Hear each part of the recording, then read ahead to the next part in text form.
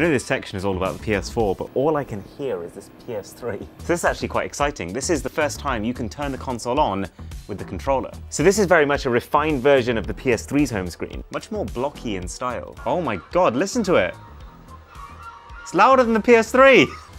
There was me thinking this was going to be a nice, sleek, quiet machine. I only half blame Sony. This room that we're in is basically a sauna right now.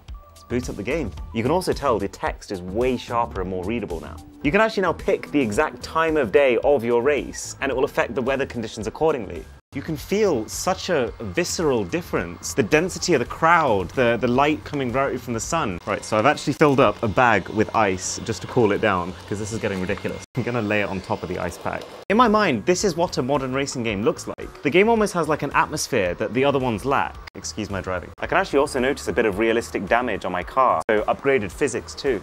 What do you do with this much power then? Well, I mean, just for starters, a further doubling of the resolution to now 1080p or Full HD. The PS4 could happily fill a 40 inch TV and not look like it was being stretched. And it also just gave developers the headroom to be creative, to build not just detailed backgrounds, but fully open worlds, to execute their visions in their entirety. Plus, they could now add pretty much any visual effect they could think of.